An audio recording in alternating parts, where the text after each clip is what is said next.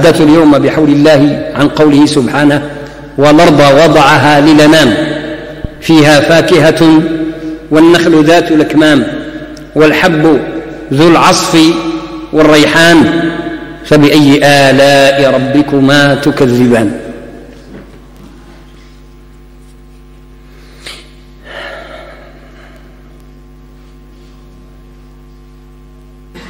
كان لنا كلام إذن عن هذه البداية. بسم الله. بما هو سبحانه وتعالى الرحمن. هذه الصفة العظمى. وهذا الاسم العظيم لله جل وعلا. بما أنعم سبحانه من تعليم للإنسان القرآن الكريم. وبما خلق وبما برأ وبما رزق. فكان السياق ابتداء قائما أساسا على الإنعام والنعم الفياضة من الرحمن سبحانه وتعالى على جميع خلقه. نعم دنيوية للناس أجمعين ونعم إيمانية لمن استجاب لله ورسوله. ولذلك لا يزال سياق هذه الصورة من بدايته إلى نهايته مذكرا بأنعم الله وبآلائه ونعمائه جل وعلا.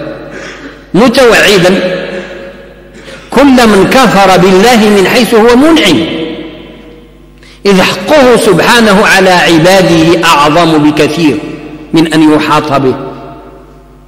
إذ خلق وهدى لأنه علم القرآن. ثم سبحانه وتعالى تكرم على جميع عباده بالرزق وبجميع أنواع النعم. ولذلك مقاطع هذه الصورة هي من العظمة ومن الجمال بحيث يبقى القلب مشدوها مرتبطا إليها أيما ارتباط كلما تأمل وكلما تدبر.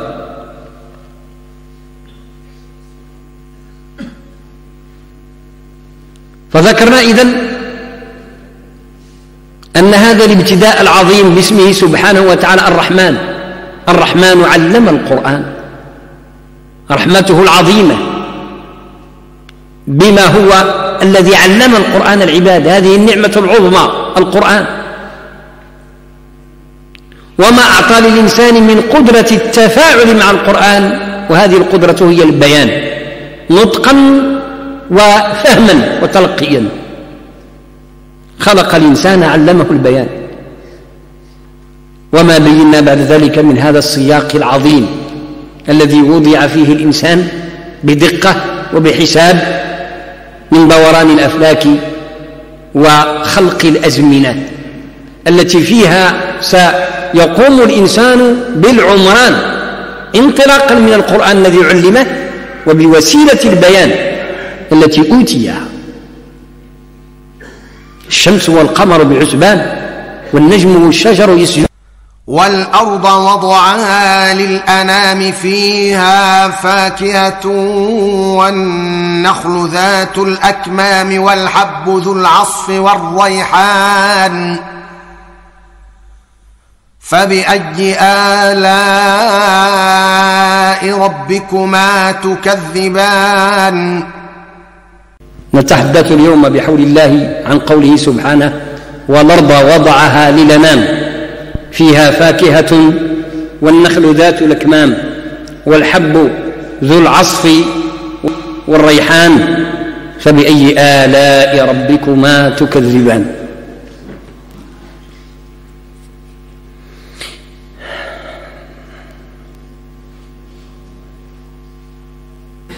كان لنا كلام إذن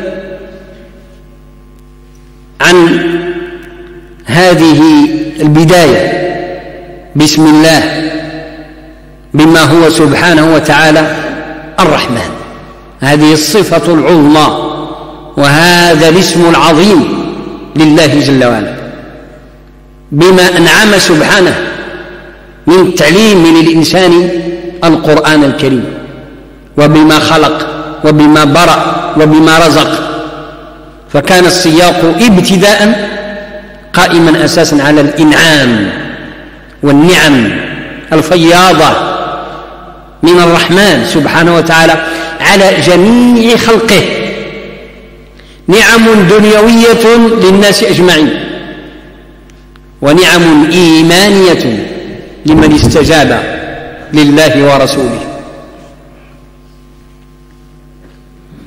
ولذلك لا يزال سياق هذه الصورة من بدايته إلى نهايته مذكرا بأنعم الله وبآلائه ونعمائه جل وعلا.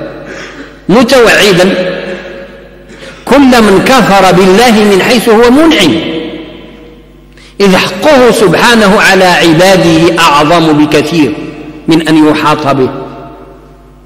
إذ خلق وهدى لأنه علم القرآن. ثم سبحانه وتعالى تكرم على جميع عباده بالرزق وبجميع أنواع النعم. ولذلك مقاطع هذه الصورة هي من العظمة ومن الجمال بحيث يبقى القلب مشدوها مرتبطا إليها أي ارتباط كلما تأمل وكلما تدبر.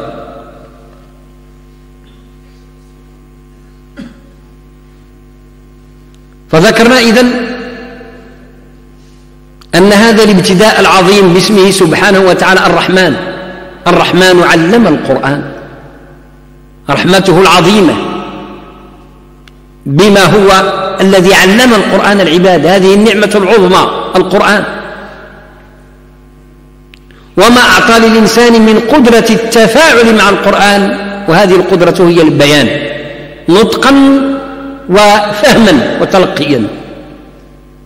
خلق الإنسان علمه البيان.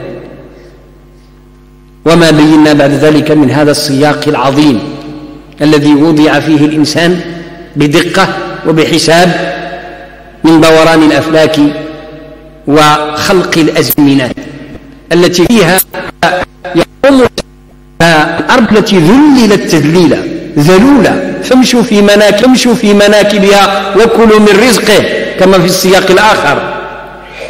جعلها جل وعلا ذلولا. لأن كلمة ذلول هذه توصف بها عادة في لسان العربي الدابة. يكون واحد جمل وعر أو ناقة أو طول. يعني القوة ديال البدنية هائلة. لو أنه يثور ويرفس أو يركل أو يضرب أو ينطح إذا يبطش بطشا ويدمر تدميرا. ولكن مع ذلك حينما يذلل حيوان ضخم رهيب مثل هذا الحيوان يقوده طفل صغير.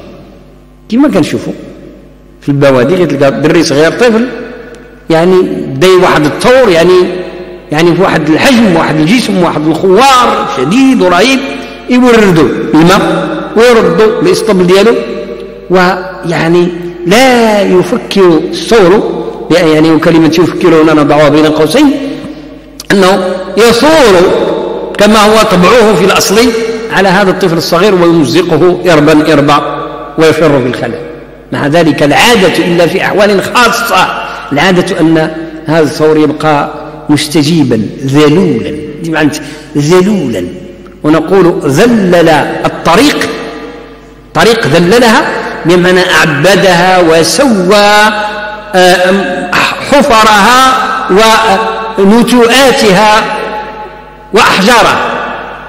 تكون طريق محجرة فيها يعني الحجر طالع نتوءات أو محفرة. يجي واحد ويقدها أو جماعة كتواطيها وتقدها. هذا تذليل للأرض وتذليل للطريق.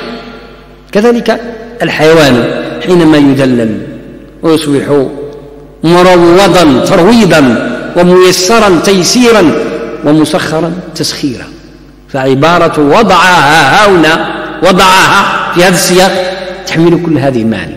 والأرض وضعها للنا أي ذللها وسخرها وهيأها لتستقبل الإنسان.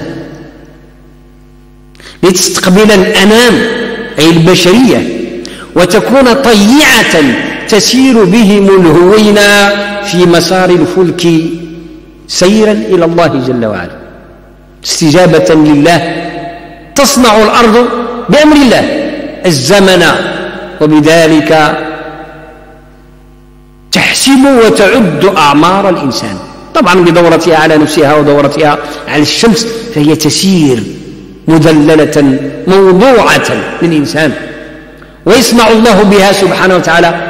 الفصول شتاء وربيعا فصيفا فخريفا. والمستفيد هو الإنسان إذ الأرض تتبدل أحوالها كل فصل شجرا وثمرا وحرثا وهلم جرا كلمات قلائل فيها من النعم ما لو بقي الإنسان يتدبره عمره كله لنفد العمر ولا تنفد كلمات الله. التي منها هذا القرآن العظيم. ونرضى وضعها للأنام. يعني للأنام. وهذا اللام. الأرض وضعها الله تعالى أي سخرها وذللها للإنسان. لام. فيه معنى الاختصاص. وفيه معنى الغاية أيضا. أي الهدف هنا أي أن الله جل وعلا خلق الأرض ووضعها أي جعلها ذلولا طيعة مسخرة لمن؟ للإنسان سبحانه وتعالى من ملك عظيم ورب منعم تواب رحيم جل وعلا ما يخطرش على البال ديال الناس كما قد يقع بعقول بعض من لا علم له بالله.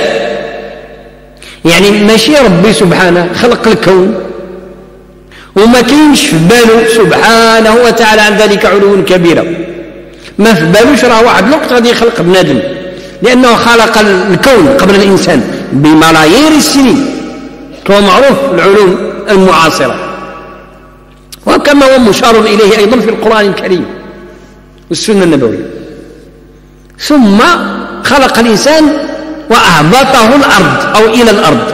قلنا اهبطوا منها جميعا. فسكن الإنسان الأرض. كاين بنادم في التخطيط ديالو التفكير ديالو.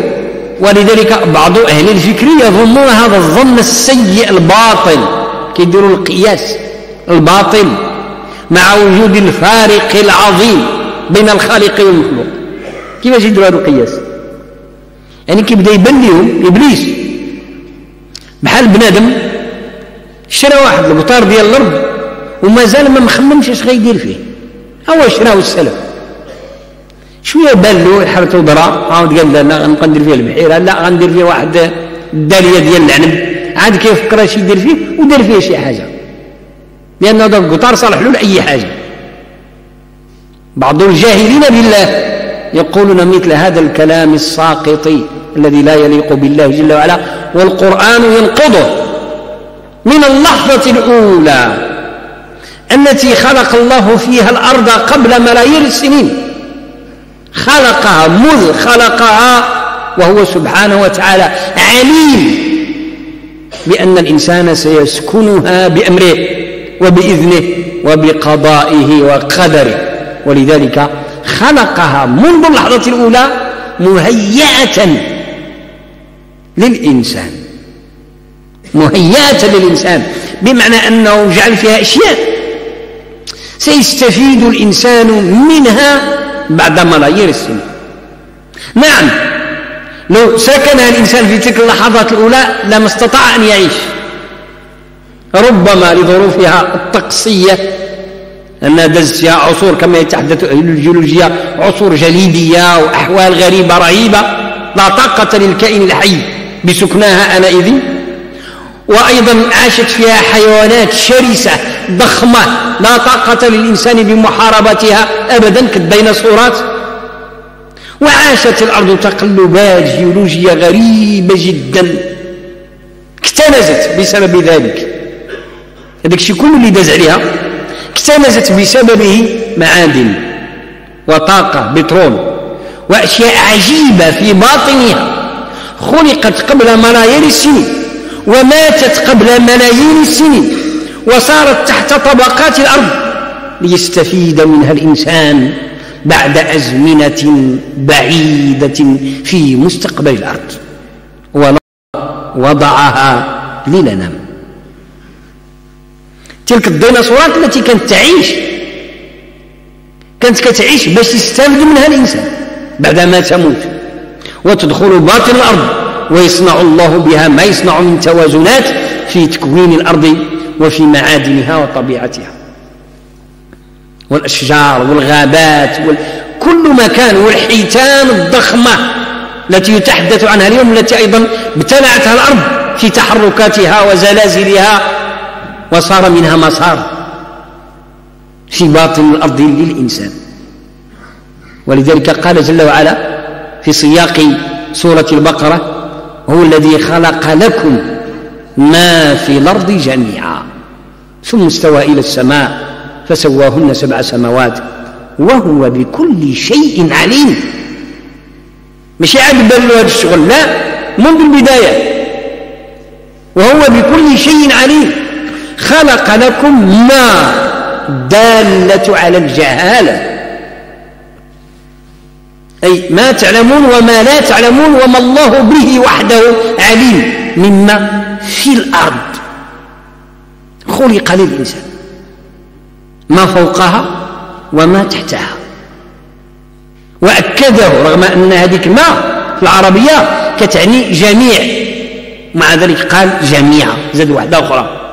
ما استغراقية شاملة تدل على كل شيء مما هو في الأرض عموم.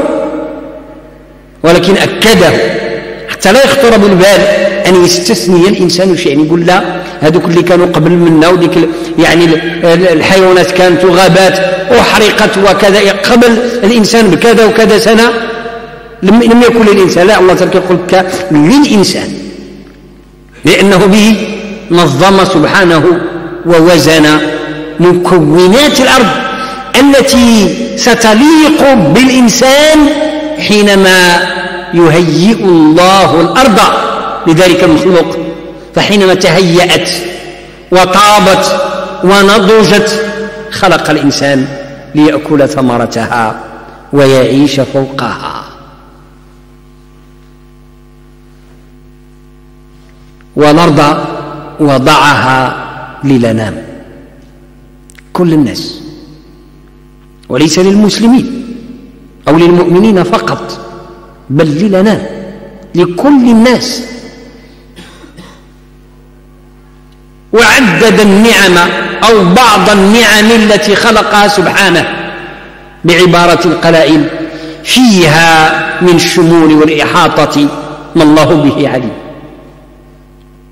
والأرض وضعها للنام فيها فاكهة والنخل ذات الأكمام والحب ذو العصف والريحان فبأي آلاء ربكما تكذبان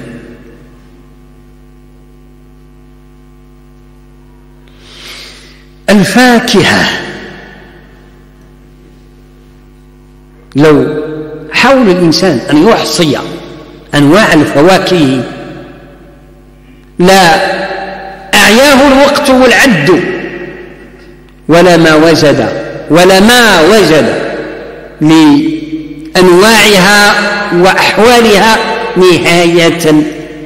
من كل صنف مئات بالآلاف والأصناف. التمر وحده. يعني إذا بغيت تتعدد يعني الأجناس الكبرى. هذا التمر وهذا البرقوق وهذا الموز وهذا كذا. عدد كبير جدا.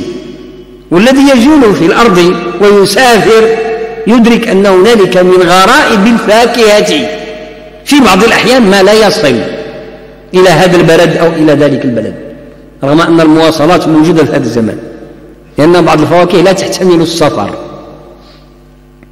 وقد تصفر في ظروف كي سبحان الله العظيم رأيت في بلاد جنوب شرق آسيا في ماليزيا هذيك البلاد عايشين غير بالفاكهة الصباح كيفطروا على الفاكهة. يعني لأنها هي منطقة هي عبارة عن غابة. هي جزر عبارة عن غابات. فيها فواكه غريبة ما رأتها عيني قط في حياتي ولا سمعت بها. شيء غريب جدا. واحد نوع ديال الفاكهة ممنوع يركب في الطيارة ممنوع. ولذلك المشكلة ديال السفر ما كيمشيش. ربما بعض الخواص ديال الناس يستخدمونه في سيارة في طائرات خاصة. ممكن عقلا ممكن. ولكن يعني لا لا يعني ليس شائعا في الأرض. رغم أن فيه لذة غريبة ومذاقا عجيبا. ضخم بحال الدلاع وكيتفرق بالشاقور ماشي مش مش يعني الجلد ديالو مشوك. باقي نتذكر اللفظة ديالو باللغة ديالهم نقولوا ليه دوريان. والوسط ديالو سبحان الله يشبه المح ديال البيض وفيه لذة عجيبة جدا. كثير جدا. جزر شرق آسيا جنوب شرق آسيا ماليزيا اندونيسيا فلبين موجود هناك. هذا فقط ذكرت مثال وإلا باشكال كثيرة ما زلت أذكرها بخيالي حينما رأيت تلك البلاد. وعجيب سبحان الله العظيم. عشرات عشرات عشرات الفواكه التي لا تصل. وإلى عهد قريب كانت بعض الفواكه كتدخل لنا المغرب جديدة. كندوزو حداها ونرجعو كنقولوا شنو هذا؟ إلى عهد قريب عاد عرفنا في المغرب المانجا وعرفنا لافوكا شيء جديدة. قبل يعني يعني 20 سنة أو لا بعد التقدير يعني يعني كإعادة إنتاج أو استنبات محلي. والموز بنفسه قديم كيعرفوه المغاربة صحيح لكن كان نادر. أنا ما نتذكر في الطفولة ديالي ماشي في الطفولة في الشباب. أنا متذكر مزيان كان غالي جدا الناس كبار يعرفوا هذا هذا. كان غالي جدا جدا جدا. وأنا باقي طالب في الجامعة مازال نذكر كنا واحد الصديق ديالي كندوز واحد واحد البنان كنقولوا هذه الفاكهة التي تشم ولا تؤكل. ما قادرينش يشريوها. دابا هو قريب يولي بجوج دريال. أرخص من المطيشة. فشيء عجيب حقيقة. فالمقصود من هذا أن الفاكهة عبر الأرض اللي سافر يعني أكثر من أن تحصى ثم بعد ذلك راه شيء يعني تأمل هذا العالم بالفاكهة؟ راه غريب. داخل الصنف الواحد مئات الأصناف. التمر وهذه صناعتنا مغربية. يعني مئات الأنواع. كان الناس التافلات عندهم قصائد في عد أنواع التمر. تبقى الأمسية كلها ولا تكاد تنتهي القصيدة من أنواع التمر. مع الأسف الشديد واحد تافلات كادت تندثر بسبب الجفاف نسأل الله العافية. والله تعالى يحيي البلاد والعباد. ولكن بما كسبت أيدينا الله يخرج عقب على خير. الشاهد عندنا إذن أن داخل الصنف الواحد أشياء غريبة وعجيبة جدا. من الموز ما يقلى في الزيت عندهم. ربما عمره ما دخل لنا ما عمري ما شفته شيء عجيبة. يعني داخل الصنف الواحد يعني مئات الأصناف. ثم في الصنف داخل الصنف المذاقات شتى. نشدو غير واحد تمرة واحدة أو زيتونة واحدة. لكل وقت لها مذاق يختلف عن مذاقها في وقت سابق. بشكل دقيق جدا. الشجرة زيتونة هذا العام أو التمر ديالها هذا العام. هو هو نقولوا مثلا التمر اللي نعرفه مزيان الفقوسة هي هذه والدة الفقوس ولكن فقوسها سبحان الله ديال هذا العام ماشي هو هذاك ديال العام اللي فات.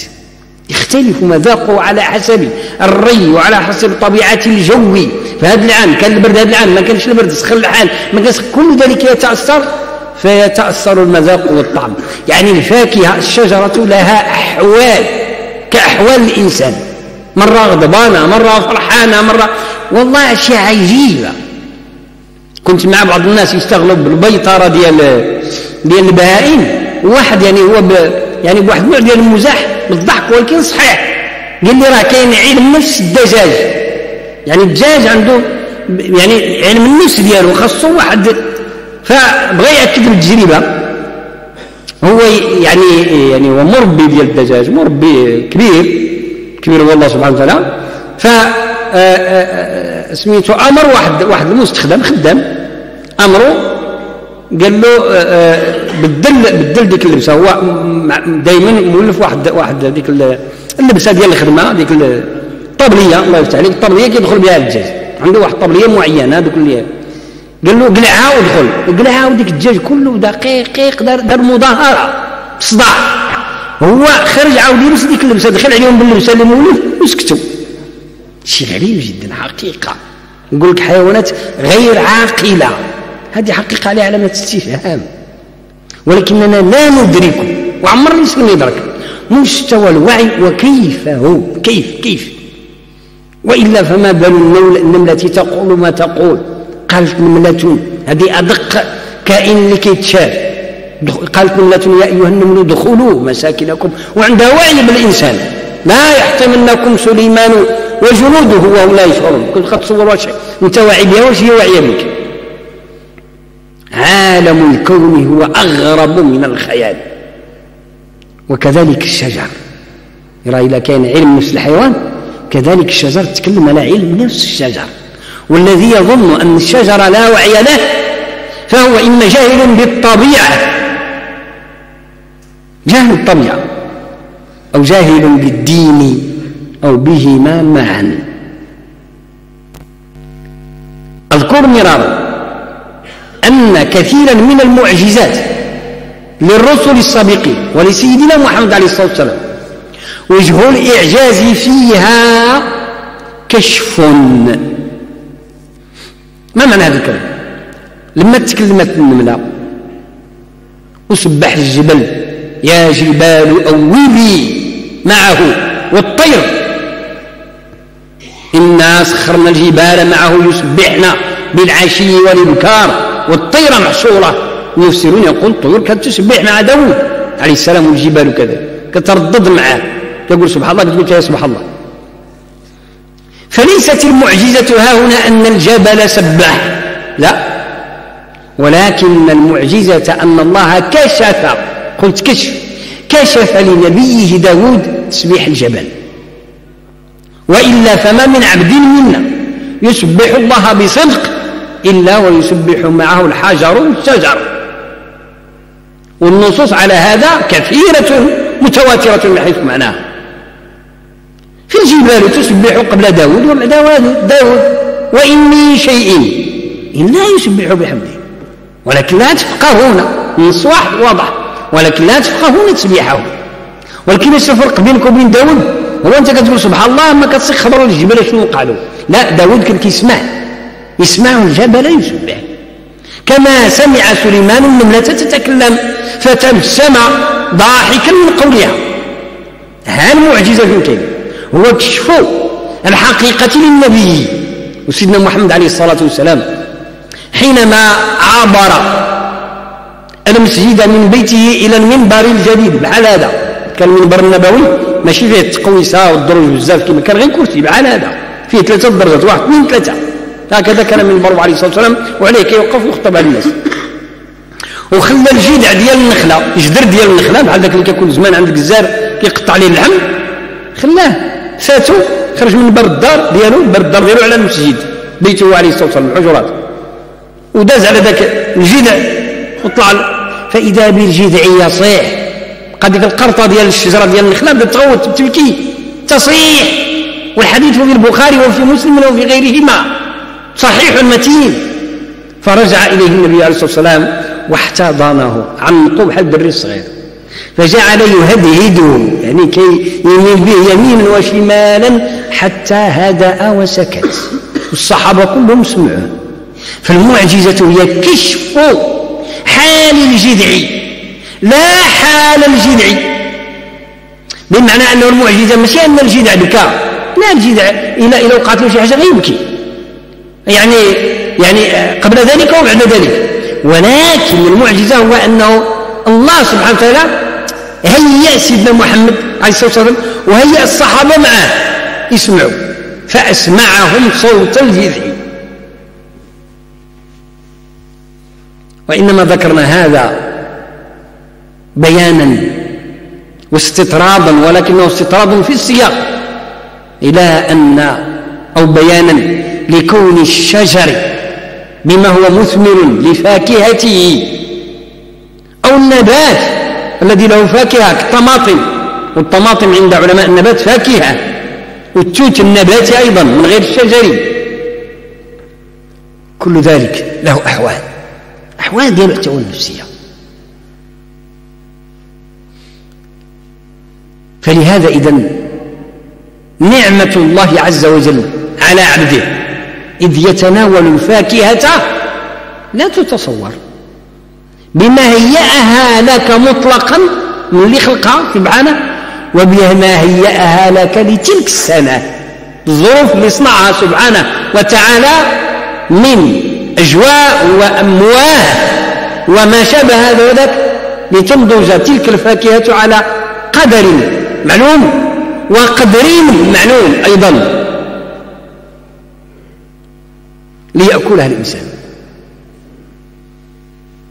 فيها فاكهة والنخل. والنخل ليس نخل التمر وحسب بل النخل نخيل. وقد رأيت نخلا عجيبا وأشبه ما يكون بنخل التمر لكنه لا ينتج تمرا وإنما ينتج زيتا. أنا كليت الزيت ديال التمر ديال النخل. غابات كثيرة موجود بكثرة في جنوب شرق آسيا في أندونيسيا وماليزيا ويعتبر ثروة وطنية هكذا. ثروة وطنية ماليزية ثروة وطنية. والزيت ديالو موجود في الشرق العربي يباع هناك. موجود في مكة كيتباع رأيته. حال البيدو ديال ولو. كأنه بهذاك الشكل هذاك بيدو ديال خمسة يطرو فيه زيت النخل. ولما تشوف النخلة ديال الزيت ما تقدرش تفرق بينه وبين النخلة ديال التمر أبدا. من غير هذا هذا النخلة ديال الدم لا شكل آخر. النخلة ديال التمر يعني المنظر ديالها نفسه نفسه. ظننته نخيلا في بداية الأمر. فإذا به ينتج الزيت. والتمر قبل ذلك وبعد ذلك بما هو نخل. هو سيد الفاكهة على الأرض. فاكهتان في الأرض. ذكرهم الله في القرآن. فيهما غذاء وشفاء. التمر والزيتون. التمر والزيتون. كيش اللي قد اليوم بشهادة علماء الشجر والفاكهة. والقرآن أكبر شاهد قبل ذلك. وإلا ما ما قورن نور الله بنور الزيتون. في سورة النور كما تعلمون. الكم الأكمام والنخل ذات الأكمام.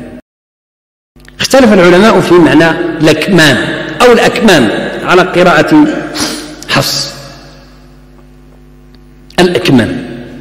جمع كم الكم هو هذا الذي ينتهي إليه قميص الإنسان أو جلبابه على الصياغة المغربية للجلباب. هو هذا الكم كما نستعمله بالدارجة. هو عربي فصيح أصيل فلذلك بدأوا يعني يعني العلماء علماء التفسير بدأوا يفكرون ما الكم في النخلة. قال بعضهم هو الليف وما الليف هذا مازال يستعمل بلفظ آخر. عربي أقدم بكثير.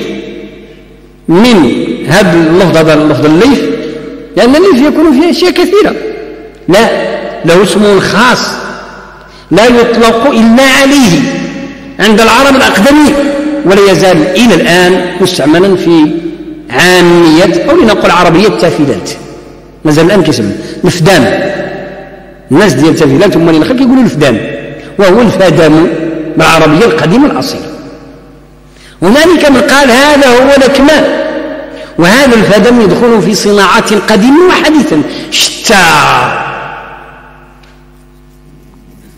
لأن هذا الفدم أو الأكمام يشكل فعلا في منظره ومشهده. أشبه ما يكون بالكم بالنسبة لجريد أو لسعف النخل. الجريدة ديال النخل. خارجة سبحان الله. كاليد. جريد النخل كاليد. في أصل في أصل الجريد الذي هو على الشجر أو على النخلة لفة من الفدم أو من الليف أو الألياف. مغلفة بحال الكم ديال ديال الجلابة تماما والجريد بالمناسبة نسميه في عاميتنا بل في العالم العربي كله يقولوا الجريد. وليس هو الأصل في التسمية. إنما أصل التسمية السعف. وهذا عندنا تحريف الآن في العامية المغربية نقولوا السعف يعني أو الزعف. والسين والزاي والصاد في العربية حروف ثلاثة متداخلة. تستعمل هذه محل تلك وتلك محل هذه. السعف هو اللي نقول لي إحنا الجريدة ماشي ذاك الدوم لا. الجريدة كلها في العربية القديمة الأصيلة تسمى سعفة والجمع والجمع اسم الجنس ديالو السعف ومتى يسمى جريدا حتى الجريد عربي. لا يسمى جريدا إلا بعد نزع الورق. ملي تقل على ذاك الزعف ديالها تولي عصا؟ تصبح جريدة لأنها جردت جريد كرضيع. وفصيل. ابن الناقة الصغير إذا فطم فصل فصيل. فكذلك الجريد إذا جرد من ورقه أو سعف يعني من إحنا الجريدة بالدارجة. حتى كتصرم تصرم كما هو بالعربية وكما هو بالدارجة. تصرم من من الورق وتولي غير عصا تما عاد العرب يسمى جريدا وكان هذا الجريد يسقفون به كما كان مسجد النبي عليه الصلاة المدينة مسقفا بالجريد وسعف النخل. الجريد يعني العصي التي نزع منها الورق والسعف العصي التي لم ينزع ورقها هذا وذاك. والبيوت يعني البناء القديم في سجلماسة وجنوب مصر المغرب يعني ورزازات كل مناطق التي فيها البناء في الجنوب إلى حد قريب بل إلى الآن بعض البنايات لا يزال موجودا. سعف النخل هو السقف الذي به تبنى المساجد وقد رأيت مسجدا في منطقة مدخل الراشدية سبحان الله مسجد تاريخيا هو أشبه ما يكون بمسجد النبي عليه الصلاة والسلام كما هو في الكتب لا كما هو الآن. ولا فقط لماذا؟ لأن الذي بناه عالم كبير كاين في الزاوية الحمزاوية. هذه كتسمى زاوية سيدي حمزة ماشي ديال الشرق لا ديال الجنوب ديال الدخلة ديال الريش. علي من؟ يعني واحد حوالي كذا 20 كيلومتر مسجد هناك بني على طراز المسجد النبوي بالذات لأن صاحبه وهو أبو سليم رحمه الله يعني اسمه صاحب يعني كان رجل عالم مربي عالم حقيقي. سافر إلى الحج ووضع كتابا في طريقة السفر إلى الحج. ماشي فقه الحج لا. فقه السفر إلى الحج. زمان كان صعيب ويحتاج إلى أمور كثيرة. الله أكبر. فقلت إذا استطربنا إلى بناء المسجد والقصد إنما هو بيان أشياء تتعلق بالنخل بما هو نعمة من الله لا تنفذ فضائلها يستفيد الإنسان من جريده من سعفه من خشبه من تمره. لا يوجد شيء في النخل غير مفيد. على الإطلاق. هذاك النوى نقولوا له في تفيلات العلف. سمي لغلبة آه، وظيفته لأنه كيعرفوا به الباين وإلا فهو يعني آه، تسمية بالغلبة. غلبة على أنه تعلف به الباين فكيسميوه في العلف. وهو النوى هذا فيه من الأدوية ما حدثني به بعض الناس الخبراء بالتمر العجب العجب. يعني حينما يطحن ويطبخ ويستفاد منه قيل لتصفية الكلى وأشياء عجيبة غريبة. المئة قطعا لأنها ثمرة التمر أو التمرة هي ثمرة مباركة وهي التي شبه بها المؤمن في الحديث المشهور. حديث ابن عمر رضي الله عنهما وأرضاهما فالنخل تخصيصه من بين الفاكهة. هذه الخلاصة ديال الكلام. لقيمته ولشرفه ولرياسته. فيها فاكهة كفى. قالوا والنخل رغم أنه جزء من الكل لما قال فيها فاكهة النخل جزء من الفاكهة. العبارة كافية ولكنه خص النخل بالذكر في سياق الإنعام لأن الآن ربنا سبحانه يمتن علينا بنعمه. فكان فهو جل وعلا يقول بأن الفاكهة كلها مفيدة والنخل أو التمر بما هو من شجر النخل أفياد قد يقول قائل قال الفاكهة لماذا لم يقل والتمر؟ قال لا هو رجع الشجرة كلها رجع إلى أصل تمر فقط والنخل لما يعلم سبحانه وتعالى من أن كثيرا من الشجر إنما يستفيد الإنسان من ثمره فاكهة وربما الأشياء الأخرى من الشجرة تصلح حطبا أو يعني فحما أو تستفيد منها البهائم فقال والنخل. للدلالة على أن النخل كله عرقه آه فدمه كرنافه. عربي هذيك هذيك القاموس يعني شفت العبارات كلها اللي يستعملوا الناس ديال تفيلات تاع النخل كله عربي فصيح جمع كرانيف. هو يعني الجدر ديال ديال ديال الجريدة ملي كيتقطع ويبقى لاصق. هو الكرناف قديم. كله مفيد للإنسان بشكل مباشر. لو اكتشف الإنسان أسراره. وكاين دراسات الان في الشرق الناس اللي مهتمين بالدراسات يعني بهذا الشكل هكذا كاين دراسات حول النخل يعني باهرة غريبه عجيبة. ذات الكمام قلنا إن هذا الكم قيل هو الهدم. وقيل هو شيء آخر. هو هذه الأكمام أي الاغليفات التي تكون يكون داخلها الطلع. طلع هو العرجون ملي كيجي طالع. عرجون النخلي ذكرا كان أو أنثى ذكارة ولا تمره ما كيهمش. كله كيطلع مغلف بكم. فسواء كان هذا كعداء فدم أو يعني هذه الأكمام لانها مكممة. فالأكمام إما أن تكون جمع أو جمع كم فهو الفدم وإما أن تكون جمع كم من كم الشيء يكمه كما وكمة أي غم. فهذه الأكمام تغم وتضم الطلع. فكل ذلك جائز وكل ذلك تحتمله العربية. وكله موجود عند المفسرين وكله من من الله. وما ذكر شيء في القرآن الكريم من الفاكهة والثمر والشجر إلا لخاصية فيه. لو انتبه إليه المسلمون وفرغوا البحث فيه لاكتشفوا العجب العجاب والحب ذو العصف والريحان. الحب كل حب يطعمه الإنسان بدءا بالقمح والشعير الذي اشتهر إطلاق الطعام عليه وما جرى مجراه من سائر الحبوب والقطان. الحب العصف هو التبن.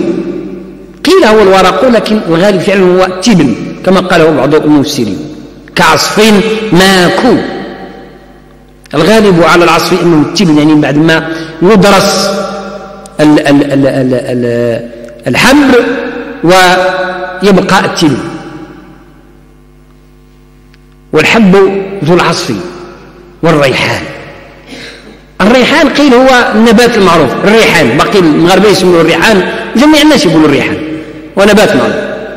لكن يقال أيضا وهو الراجح عندي هو كل نبات له طيب له رائحة طيبة.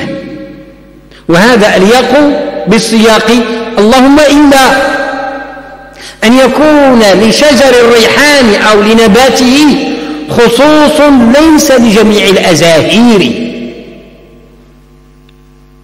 كما خص النخل بالذكر من سائر الفاكهة خص الريحان الذي هو الشجر المعروف بالذكر من سائر أنواع الأعشاب ذات الرائحة الطيبة والأريج. وكل ذلك صالح للاستشهاد ما دام السياق سياق منة وكرم والحب ذو العصف والريحان. قيل الريحان هو الرزق لكنه تفسير ضعيف جدا. لا تطلق العرب كلمة ريحان أو الراء والياء والحاء أو الحاء والنون لا تطلق هذه المشتقات إطلاقا على على الرزق. والحب ذو العصف والريحان فهو شيء مستقل بذاته وهذا الأصوب والأصلح لأنه كأنهم قالوا يعني يعني الحب سياق الحب الحب هو يعني يأكله الإنسان يعني يخرج منه التبن ويخرج منه أيضا الريحان الذي هو رزق لا ضعيف ضعيف. وإلا فالتمر أيضا رزق والفاكهة رزق صحيح رزقية الحب أبلغ لأن يعني العالم يعيش على الحب قمحا أو شعيرا أو أرزا وكل ذلك حب. ولكن مع ذلك يعني لابد وأن تستجيب التفسيرات لقواعد العربية واشتقاقها. وإلا فلا يمكن أبدا أن يسير الإنسان في يعني أمرين أو يعني يعني بناء معنى لا تقبله العربية في القرآن الكريم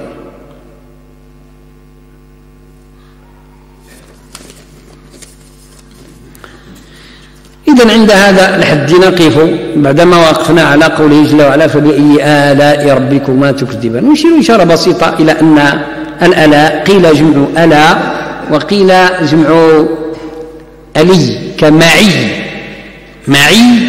يعني مصران. أمعاء يعني ألي جمعه آلاء وهي النعم. فبأي نعمة من هذه النعم؟